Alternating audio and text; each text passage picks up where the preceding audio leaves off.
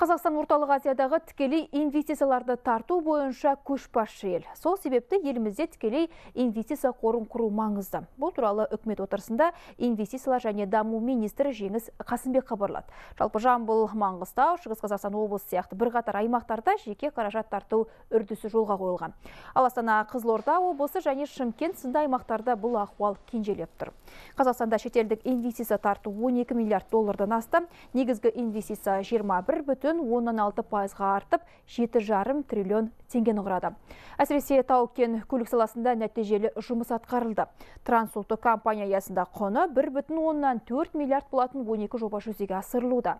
Тағы 22 жоба пысықталып жатыр. Бастысы жобалардың өзектілігіне мән беріп инфрақұрылым мәселесін бір жақты ету индустриалдық аумақтарды реттеу маңызды.